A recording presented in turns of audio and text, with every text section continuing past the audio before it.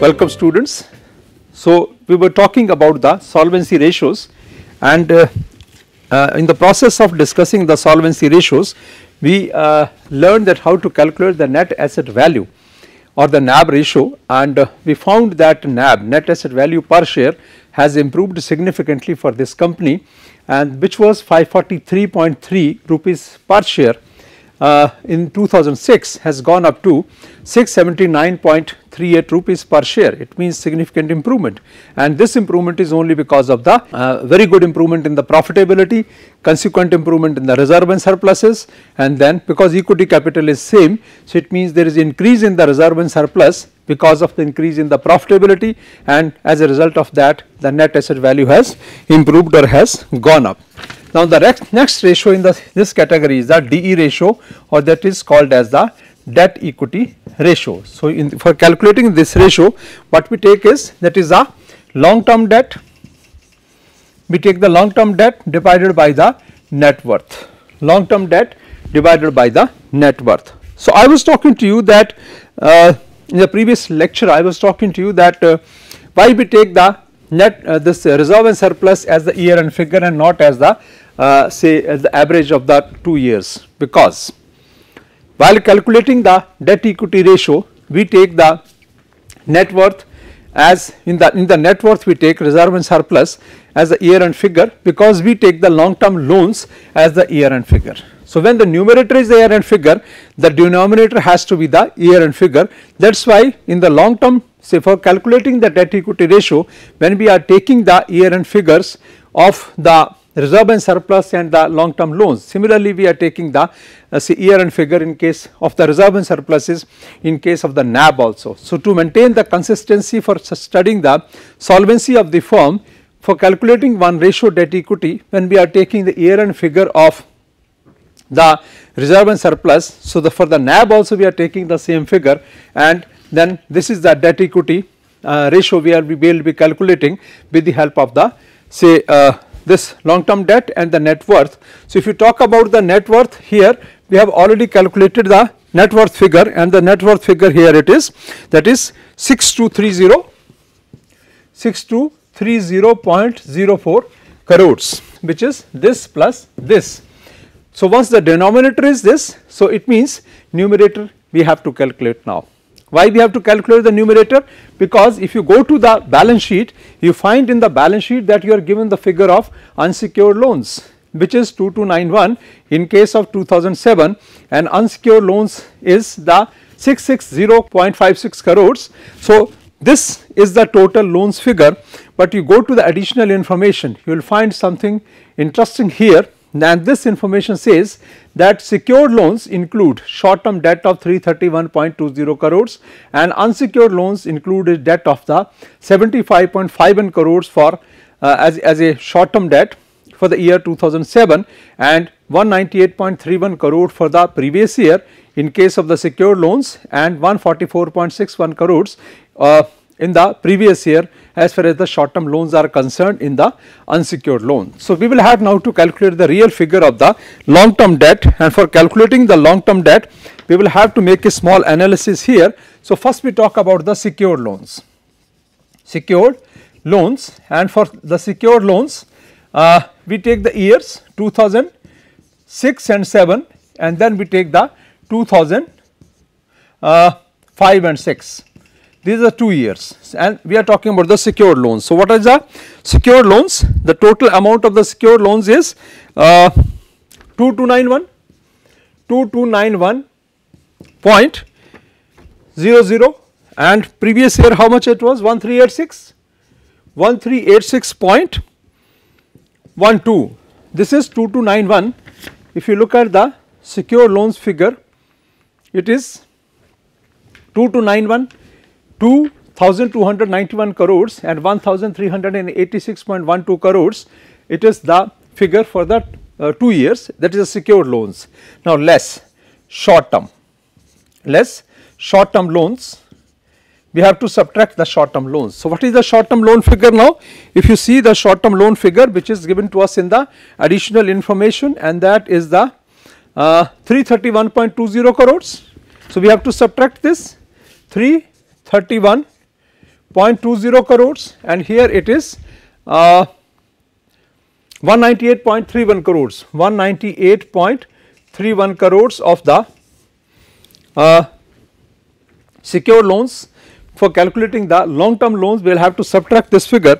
And if you calculate this so we will you will find this. What is the balance here?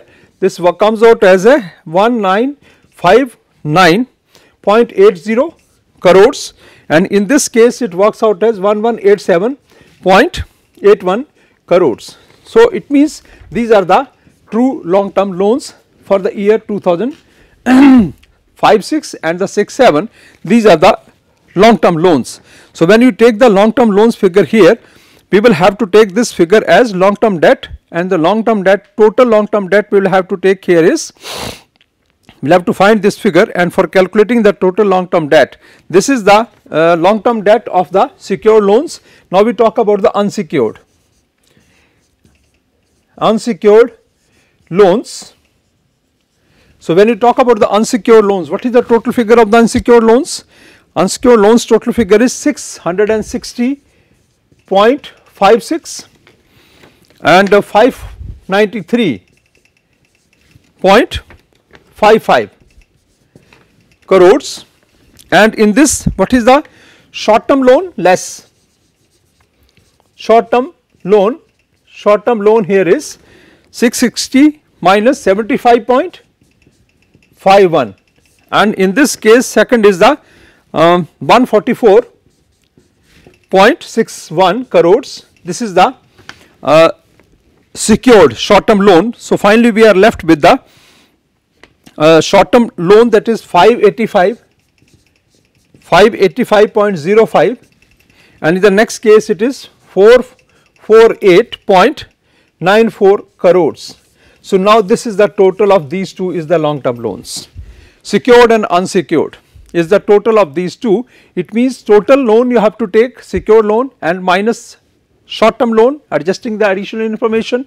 In case of both secured and unsecured you have to subtract the short term and then only the figure of the long term will be left and if you take calculator if you total it up this and this and this and this. So, figures for the 2006 if you take these two figures the figures for the 2006 are now finally the long term loans figure is going to be 2544.85 crores 2544.85 crores divided by 6 to uh, 30.04 crores. So, what is the debt equity ratio? This works out as 0.41 is to 1 and in the previous year this ratio works out as for the previous year this ratio works out as 0.33 is to 1.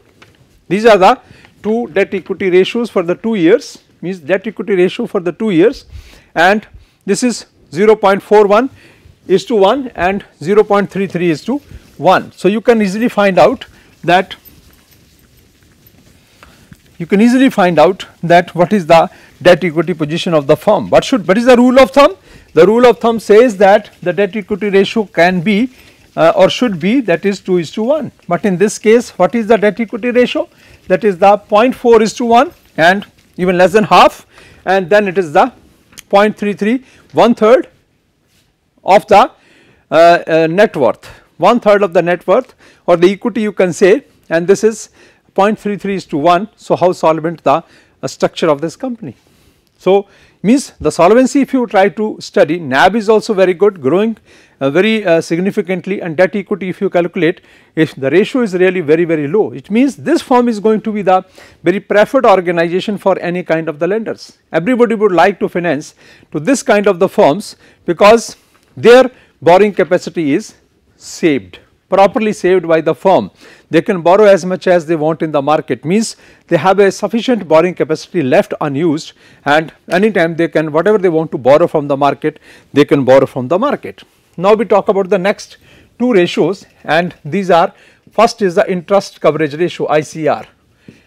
Interest coverage ratio that is the ICR ratio. So, for calculating the interest coverage ratio what we were talking here is that is interest coverage ratio is uh, we have to take what? We have to take the PAT profit after tax plus non cash charges NCC divided dividing it by the uh, PAT that is the non-cash charges plus uh, say uh, PAT plus non-cash charges plus interest on interest on long term loans.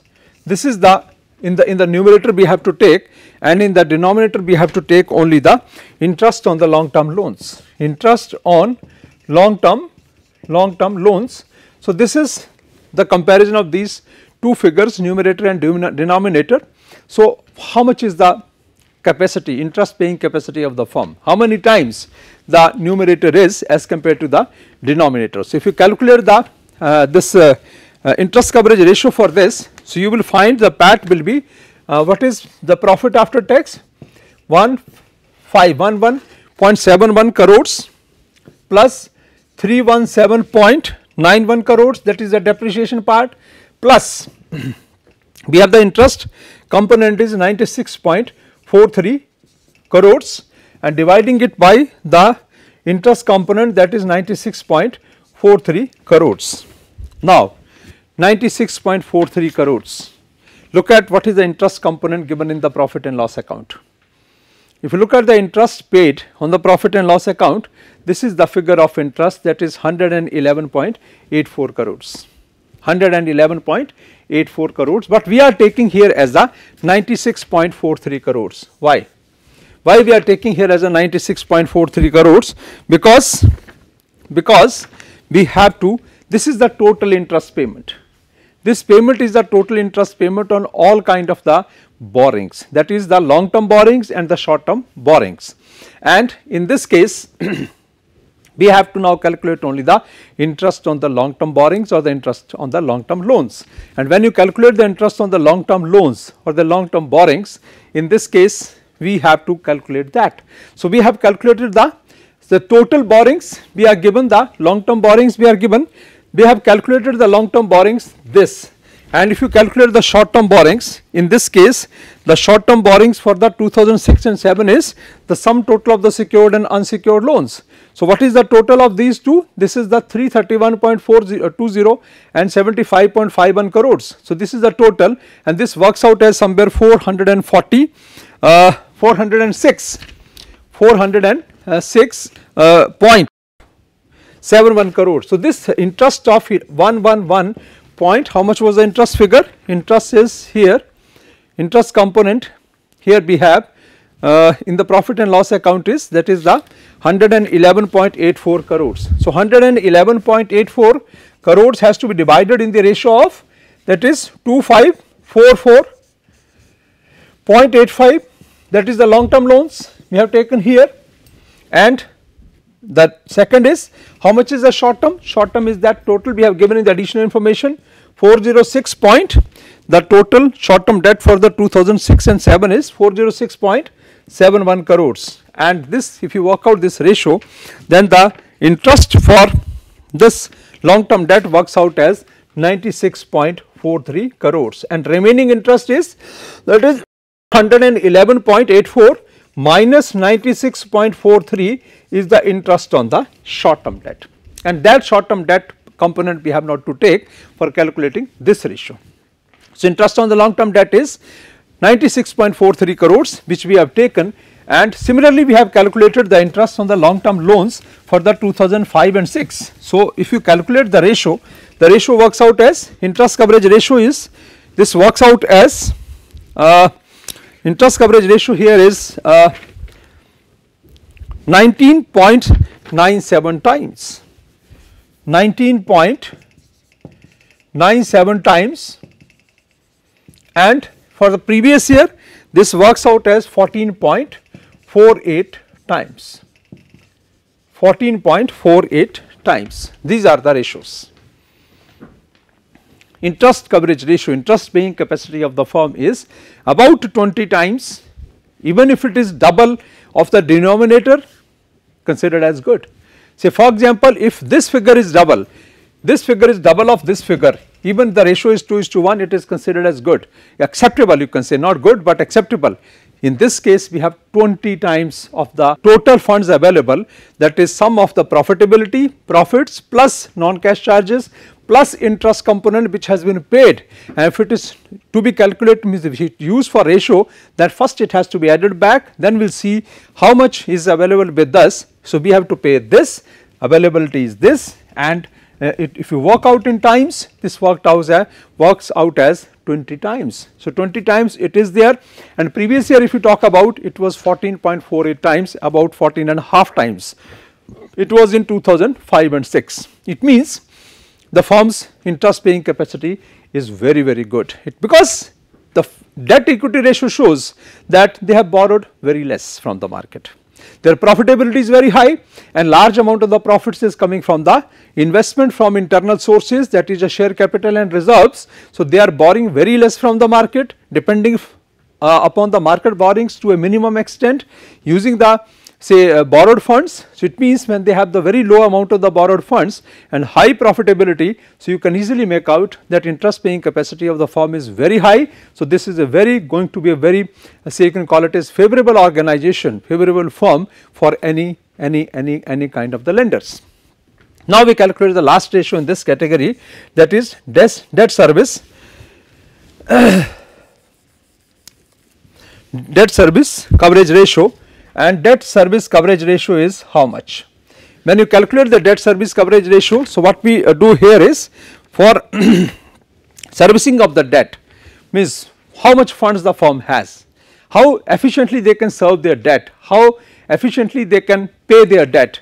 So, whatever the uh, means uh, what is the uh, level of the funds they have. So, numerator will remain the same and in the denominator you will add here the payment of the principal part the payment of the principal component you will be adding here. So, we are to find out how much company is paying as the principal amount for the year 2006 and 7. If you look at the and that you will find in the additional information. If you look at the additional information, so it means we are paying uh, long term debt component that is item number 8. It is written here that long term debt that is uh, rupees 182.27 crores was redeemed during 2006 and 7. So, it means this much of the long term loan has been paid back in the year 2006 and 7. So, your numerator will remain the same. So, if you talk about the numerator part your numerator will be same and that is 190 uh, 1926.04 and the denominator is going to change here because this is sum of this, this and this, this works out as 1926.04 crores and it has to be divided by the two things now. One is 96.43 and then we are going to pay the debt part also and debt is going to 182.182.77 crores. So, this is going to be the total amount of the denom denominator. So, if you calculate this ratio this ratio is also very good time very good that is 6.91 times. It means about 7 times of the total funds including the in one year we are talking about for the payment of your interest for payment of the principal component you have total funds which are 7 times of the total obligations for one year that is the revenue uh, financial expense and the return of the capital part or the principal part we have the sufficient funds available with us and that ratio works out as 7 times. So, now you look at the overall solvency position of the firm. If you look at the overall solvency position of the firm, if you try to analyze the uh, solvency position of the firm. Uh, uh, the, means uh, one thing more before we discuss the solvency position.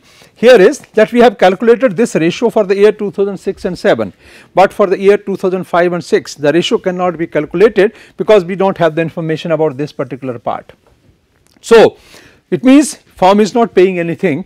If you assume that the firm is not paying any returning as any part of the long term debt then the ratio for the, even the debt service coverage ratio will be the same for this year that is 14.48 times because the denominator will remain the same numerator is not denominator is not changing.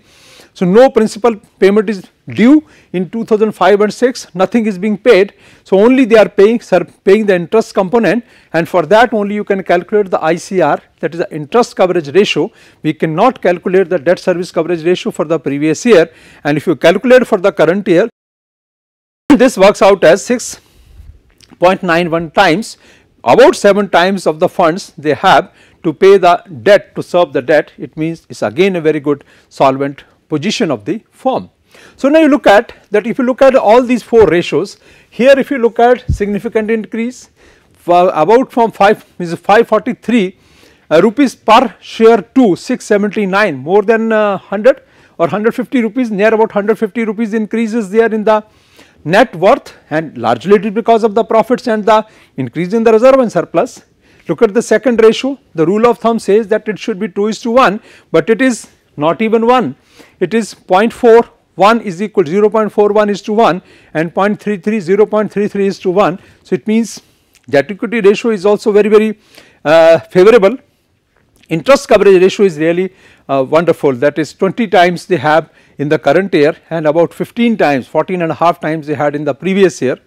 And if you talk about the debt service coverage ratio debt service coverage ratio is really again a very very very good ratio if you talk about the current year for which they are making the payments. So, it is a wonderful financial position financial performance of the company. Solvency position of the company is really very very good. And the firm is uh, you can call it as very favorable organization. You talk about maybe of the financial institutions, we talk about the lenders or you talk about any other kind of the stakeholders, everybody is going to be love to, would love to finance to this company or provide the funds to this company. now after this we will be talking about the other ratios and next set of the ratios we talked in the last part of discussion or maybe in the previous lectures were the liquidity ratios. And when we talk about the uh, liquidity ratios, we will be uh, learning about the important ratios. These liquidity ratios are uh, your uh,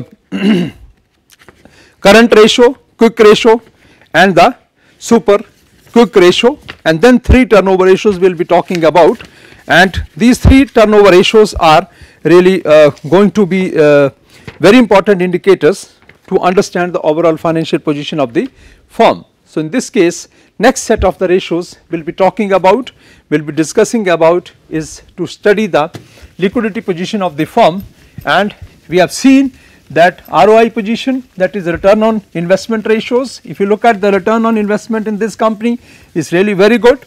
Similarly, if you look at the solvency position of the firm it is very good and uh, now we are sure not even hopeful, but we are sure that the overall liquidity position of the firm will also be very very good. So, uh, we have to talk about here uh, about the liquidity ratios and the liquidity ratios we are going to uh, talk in terms of the current ratio, quick ratio and the super quick ratio. so, when we talk about these three ratios we take into consideration the current assets, current liabilities, quick assets, current liabilities and super quick assets and then the current liabilities. So, we are going to talk about these ratios, uh, this liquidity ratios. And first ratio in the liquidity ratios is the current ratio. So, this is the uh, CR we call it as current ratio. And what is the rule of thumb for the current ratio for the interpretation? 1.33 is to 1 earlier it was 2 is to 1 but now it has been brought down to 1.33 is to 1. so, let us calculate the current ratio and if you look at the current ratio this is the total current assets divided by the current liabilities and if you look at the total current assets and current liabilities we will find out the figures here that is the what is what makes the total current assets. So, this will make here current assets plus loans and advances the firm has given plus the short term investments STIs short term investments will be taking into account.